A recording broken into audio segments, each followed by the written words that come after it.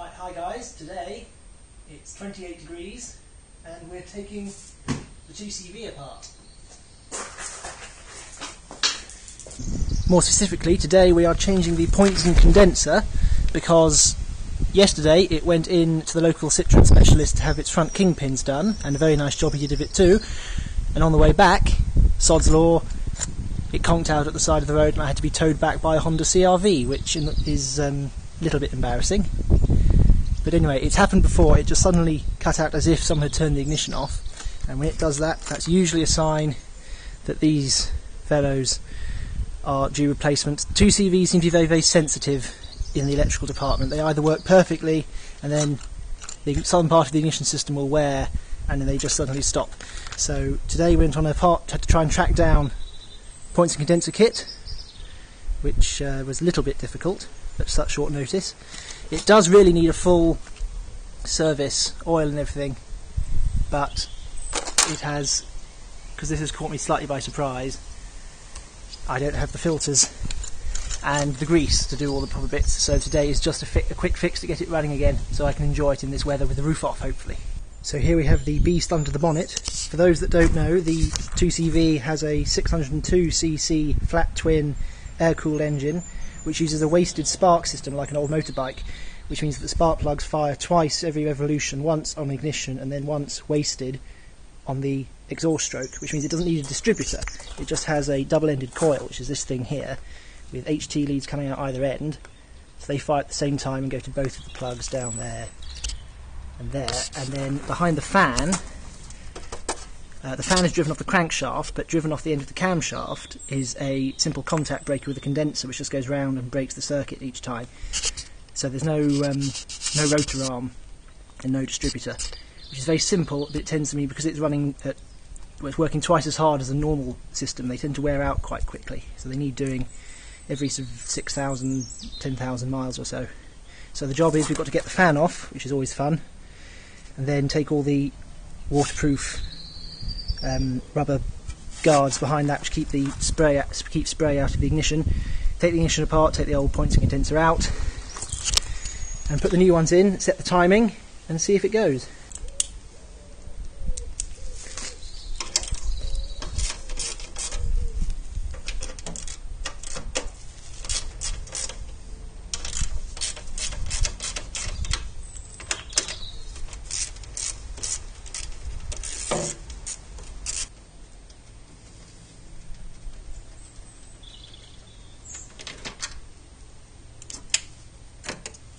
Guard off. So now the guard's off, which is the easy bit, we have to get the fan off, which is held on, if you can see it. You have to let the camera focus. Yeah, go. So you can see there's a bolt in the middle of the starter handle dog, which holds the fan onto a taper. The, ta- the end of the crankshaft is a taper fit. So you should, in theory, just be able to give the fan a sharp tap and it'll fall off, but of course it's never that easy, and it usually requires some brute force and ignorance to get it off. But we'll see. So first we need to get the bolt and the middle out. Usually that needs a special slim fit box spanner. But fortunately I have a socket that is just the right size and put it in gear.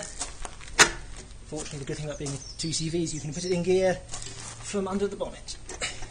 Go and there we go.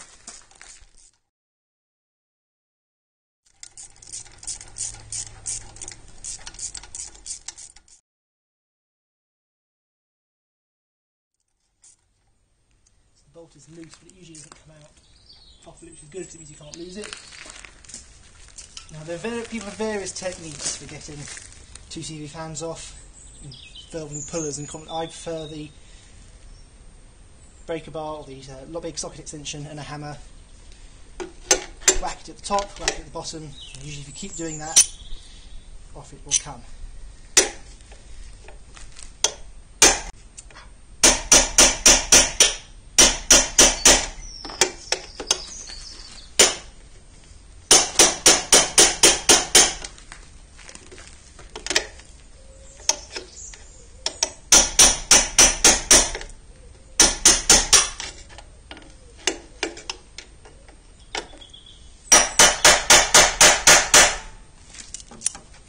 There we go. Ta-da! So behind the fan, this is the end of the crankshaft here. That's the drive belt to the alternator up there, which I'll have to slacken in order to get it back on. Uh, these two things are the pipes going from the sump to the oil cooler, which is there behind the fan. And then this is just the rubber casing to keep water and muck out of the ignition, which is held on by these cross beams here, which just have bolts on them, so they need to come off.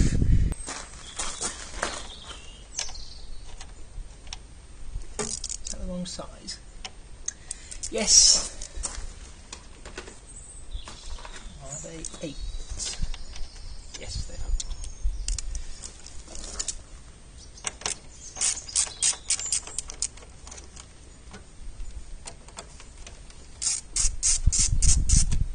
And as always, there's one down at the bottom where you can't get the socket extenders on, and there's not quite enough room for the socket to get. So you have to use a spanner and do it the long way round.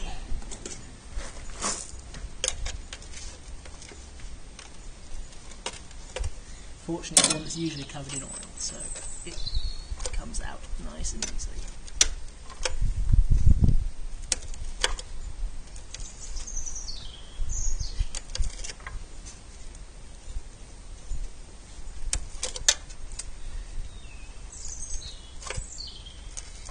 Says, as he struggles to undo the spanner.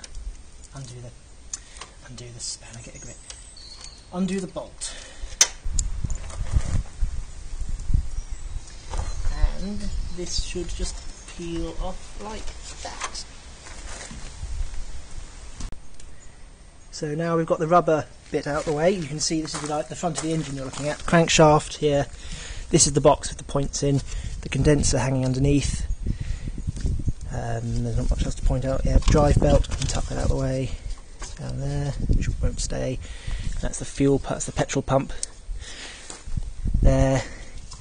Uh, and the circular bit behind the points box has uh, a pair of sprung laden weights inside, um, so they move. It's a centrifugal thing, which is the ignition advance. It doesn't have a vacuum advance. The 2CV it was de- deemed too complicated and unnecessary. So this is the next thing to take off unscrew that, see if there's anything horrible in there.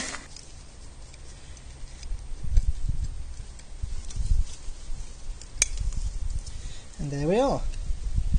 That is the points kit, or points set of a Citroen 2CV. So yeah, this is the points kit, there's the breaker, which, which as the name implies is the, uh, it just breaks that contact here it's powered by this double lobe cam on the end of the camshaft.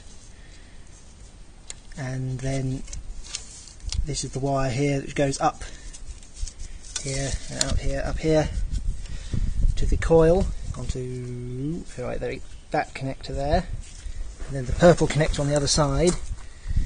This one is the feed from the battery from the ignition. So all that happens is that most of the time this is closed and is making the contact so that the coil is earthed. And as it spins around, as it opens, it opens a little bit, much you know, much less than that, but that's the idea, like that. When that happens, the coil is no longer earthed, but it has a huge amount of electrical uh, electrical energy. Let's try and say that a bit slower in there, which has to go somewhere, and so it dumps itself down the HT leads to the spark plugs, which are earthed, but because they have a gap in them, create a spark, and that's where the spark comes from. And obviously, if the point contacts are bad, or if the gap is too small or too wide, or it's not set to open at the right time, you'll get problems. In this case, I checked last night, the spark is very, very weak. So there's not enough power getting to them. But we'll uh, set everything up right and hopefully it will be good. So the next stage is to get the box holding the points out, which is these two bolts here on either side. And then this will lift out and we can take the condenser and the points out off the car, which is a bit easier.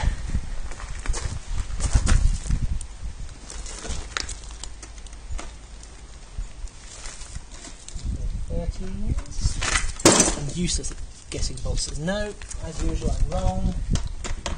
So like 90% of the things on the card, they'll probably be 11. Yes, I really should learn one of these days to always think it's 11, not 13. But then I'm used to Land Rovers, where everything is much bigger. When I got the 2CV, I was using whole sections of the uh, socket sets and spanners that I'd never used before. And on the Land Rover, there's nothing shorter than nothing smaller than 11 or so. And 11's most of it's 13 or 7 16ths if you're dealing in the old money.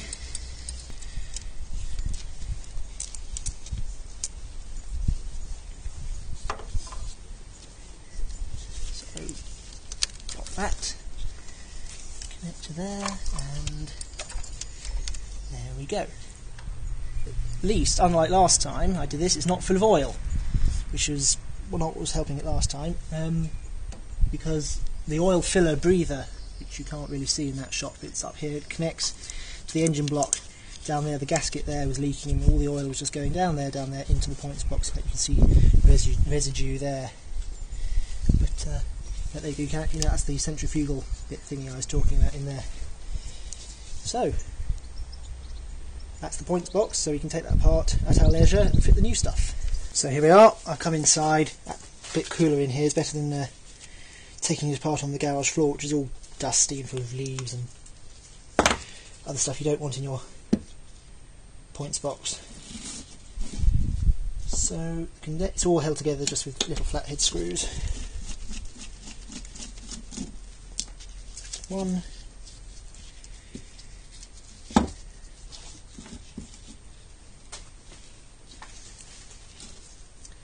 Two.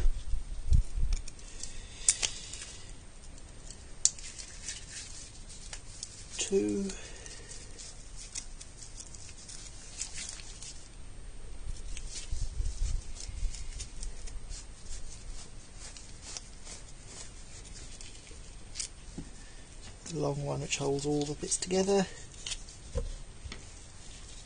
And the condenser comes out, sits on this little cradle by itself. There's the old one.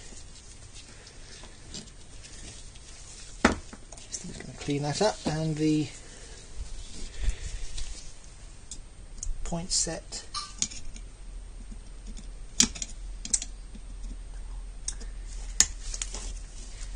So that's how you adjust the gap. It slides in that little slot there. We'll do that on the car.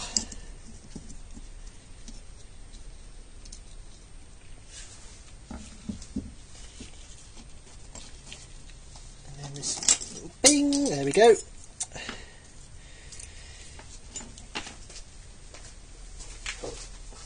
the bit that flew off, it's the little plastic cradle, like so.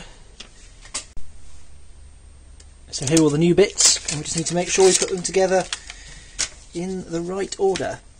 Fortunately, I have the Haynes Book of Lies here, which you can't see, it's, it's, over, it's over there somewhere, out of the camera shot. Of course, I shouldn't have said that, I should have just said I can do it from memory, but I can't. So,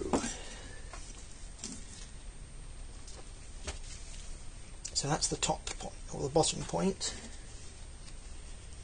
which goes over that thing like that, and the little screw which keeps the contacts, sets the contact distance. In there. we have the rotor arm, the not the rotor arm, breaker arm. Should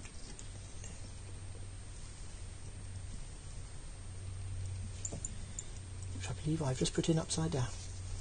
Yes, I have. There we go, like so.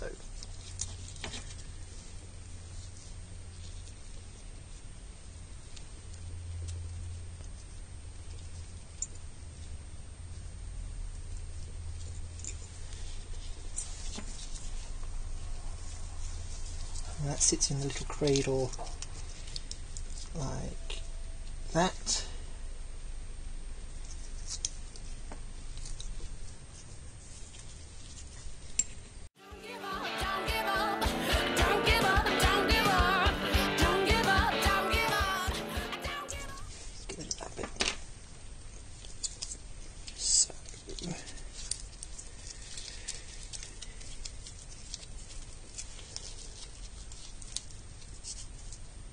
Sits in its little cradle like that.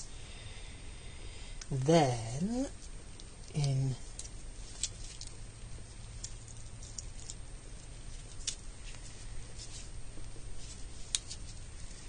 in order, we have thing from condenser, spade connector,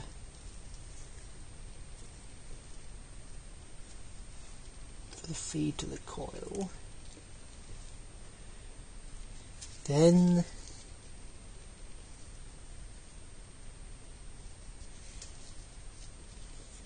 how can that work?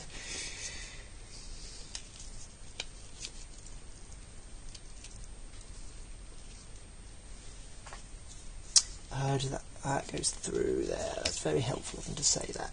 There we go. It all makes sense. You wouldn't think I've done this before, about five times, but I have. But I always forget exactly how it goes each time.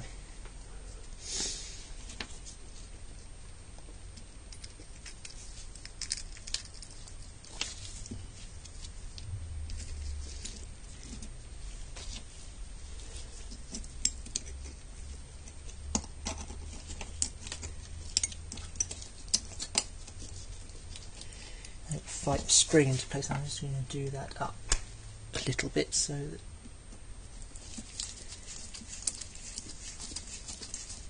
it doesn't all go ping like it did when I took it out.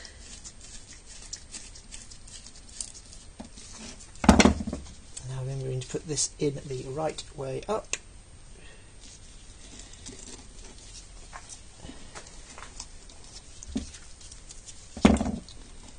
So my hands are in the way of the camera, but I can't help that.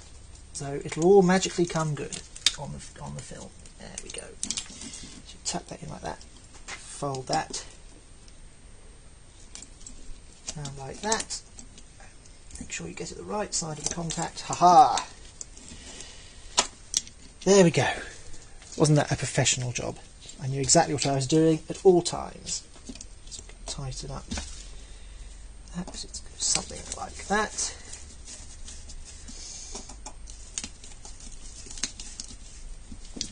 And there's one more little screw holding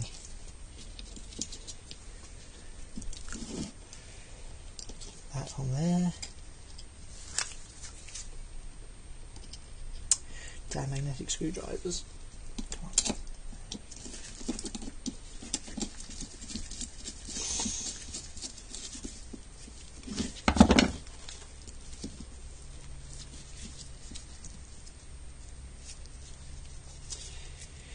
And what do, I've made the error of not flicking that over the end.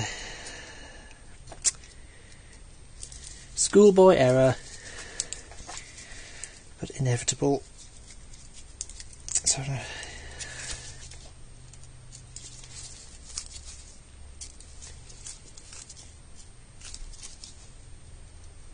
hopefully, he says, I'll be able to just hold it. Pin-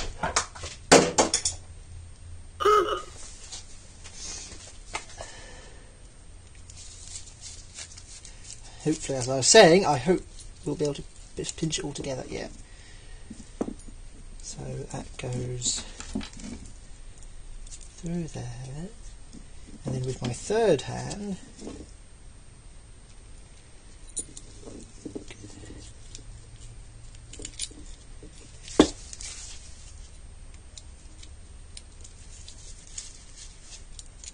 There we go.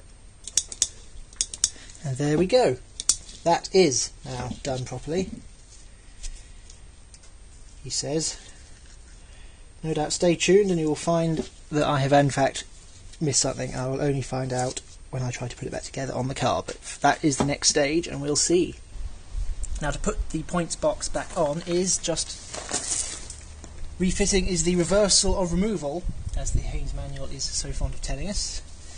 I can see from the marks, which I actually just clean up a bit. So as, as I was saying, you can see from the marks where the roughly where it should be timing wise, but we'll have to adjust that properly later.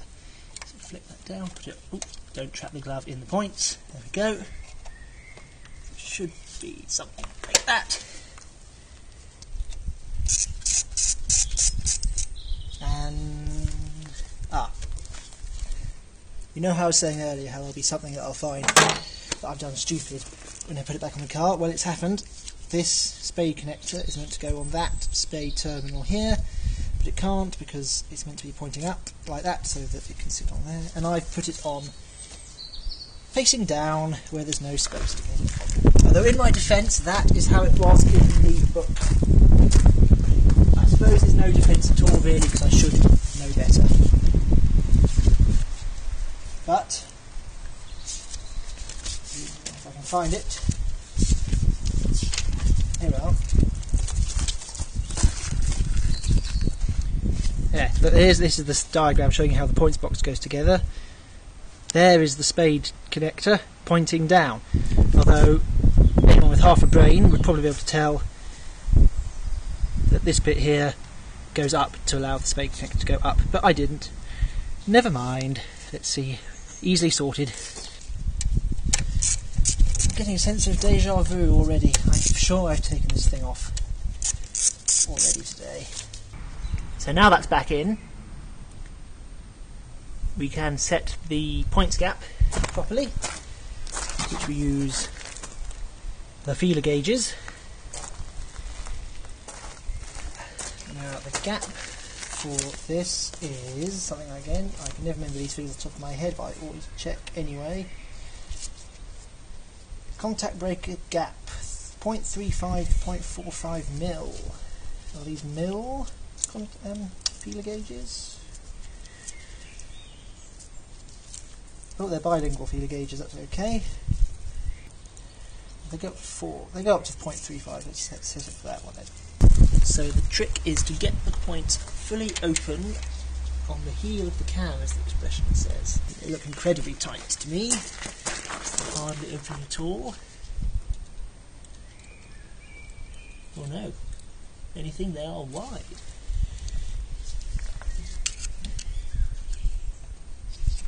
So,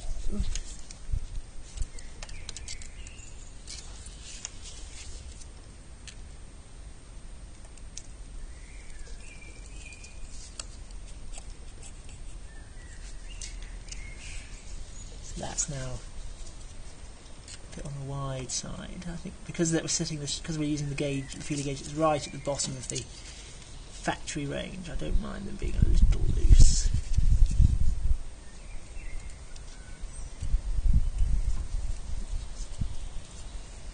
Tweak it up a bit.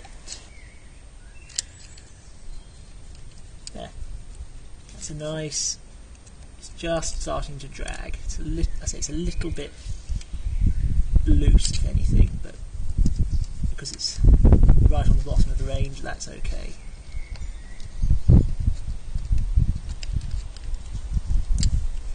Uh-huh. Just check it on the other cam.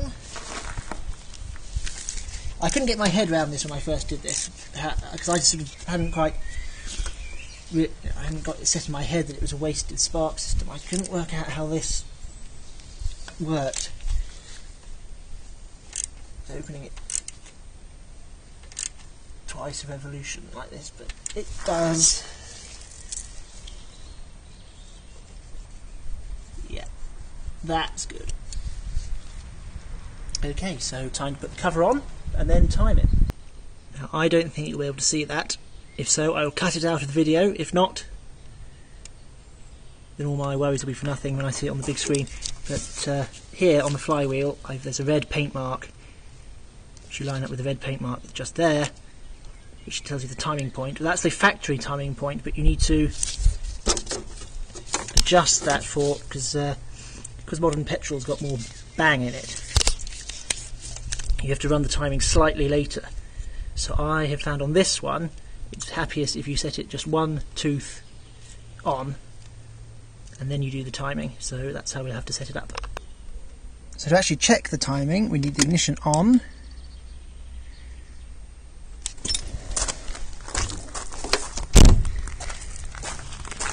we need to rig up a test lamp between this terminal of the coil, slide that just back there.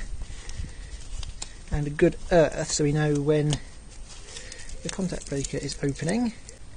I've taken the cover off again just because it's very good at showing exactly what's going on. It means that if this all works and it, we can start it up, it means that um, I can film it running with the breaker box open, which is quite cool. Um, so I now have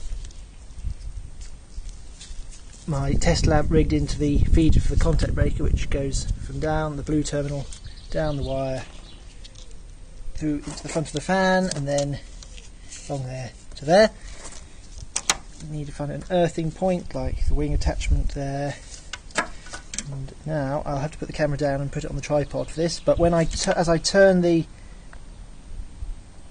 points box to set the timing, I'm waiting for the light just to come on here, which shows that the contact breakers are just beginning to open. So the test lamp on Earth, which actually is on already. Turn it so it's off, and turn it back very slowly. There we go. Oh, Jumps. There we go. You want it so it's lamp. You may not be able to see the lamp in the bright light, I'm afraid, but I'll take my word for it. There it's on, off, on. What's that? It's so good that, in fact, just touching the box makes it flicker off. So I'm just try and get a smidge more. Yeah, that is consistently on. Just. And happy with that, so uh, tighten it up. More.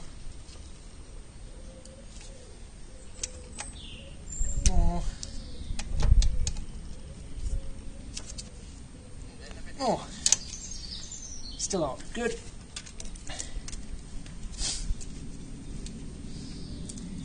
So it's timed, it's gapped.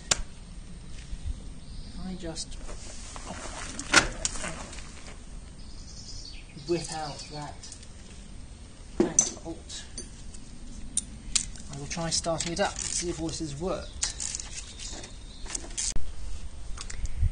Alright, fingers crossed, see if that has worked. Will it go?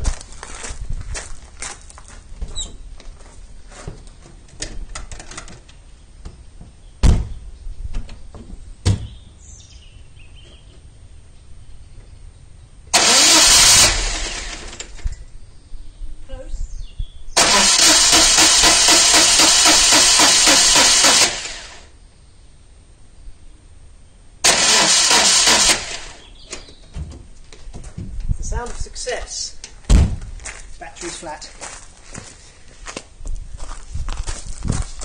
I all the cranking I did yesterday at the side of the road, seeing if I could get it because yesterday it was running, it was a run on one cylinder, and I kept trying, trying, and it obviously got the battery flat, so now it's not good enough. Okay, I'll whack another battery in and see what happens. Alright, the second battery's in. Moment of truth, take two.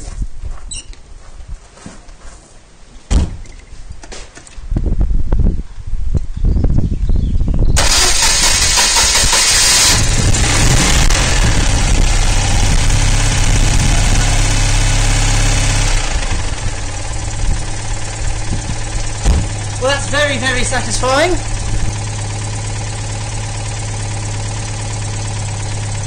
That's the points whirling away.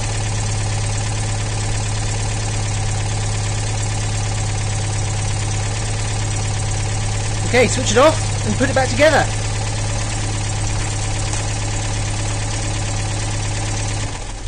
Oh, that's made me very happy. The points cover back on. which then means next up is the rubbery thing. Now, it doesn't matter which one of these goes where, they are exactly the same, but you can tell from the marks where the washers were, and I'm afraid I always like to put them back where they came from because that's just how I roll. I like that. So that's all. That's uh, I need to slacken the alternator off so I can get the belt back round the fan. Requires seem to remember it requires two spanners of different sizes for some reason.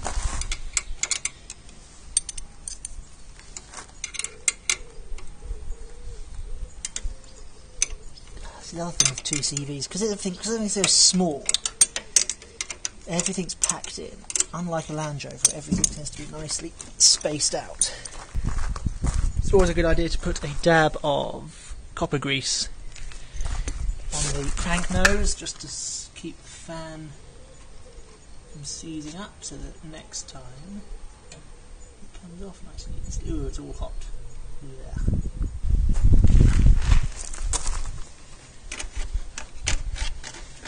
Belt goes on. There.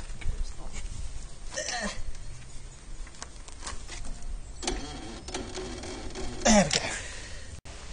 So that's the fan grill on, and that's it. That is how you do the point condenser on a Citroen 2CV.